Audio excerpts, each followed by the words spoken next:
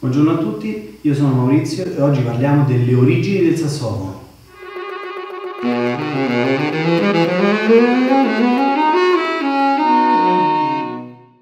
Bene, oggi parleremo delle origini del sassofono, però la prima cosa che vi chiedo è iscrivetevi al mio canale cliccando sul pulsantino rosso in basso a sinistra con scritto iscriviti, è molto importante perché mi permette di produrre nuovi video.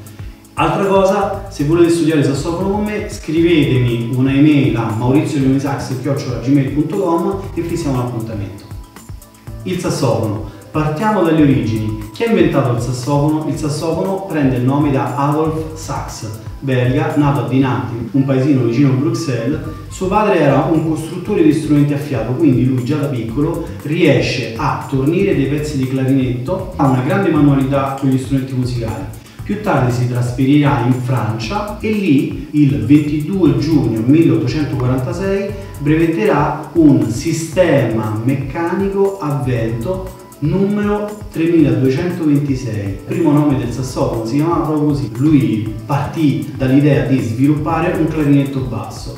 La necessità era di ottenere un suono più morbido, più largo e anche più potente quindi decise di allargare un pochino la campana del clarinetto basso, ma anche di cambiare il canneggio e per questo si ispirò anche a un altro strumento, l'oficleide, che era un, una specie di flicorno, però con le chiavi tipo sassofono e venne fuori questo sistema meccanico a vento 3226. Sassofono quindi è uno strumento relativamente giovane perché non gode della letteratura di compositori come Mozart, come Beethoven, e come Bach, perché quando loro erano in vita il sassofono proprio non esisteva. Comunque molti compositori classici scrissero per il sassofono come Maurice Ravel, come Georges Bizet, Claude Debussy, George Gershwin, anche compositori contemporanei come Luciano Berio, come Ennio Morricone scrissero per sassofono, quindi nonostante sia uno strumento relativamente giovane ha una discreta letteratura in ambito accademico. Questo perché è avvenuto?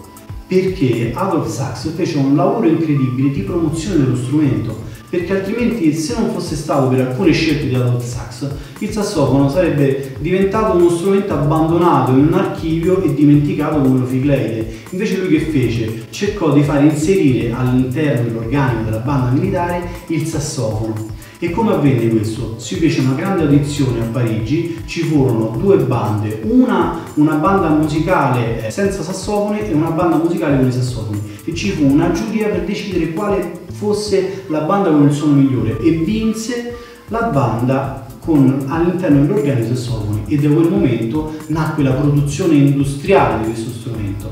Questa è una cosa molto interessante, attenzione, perché da lì nel 1857 si aprì la prima classe di sassofono al Conservatorio di Parigi. Quindi Hector Berlioz, il direttore del Conservatorio di Parigi, affidò ad Adolf Sachs la prima classe di sassofono della storia, 1857, Conservatorio di Parigi.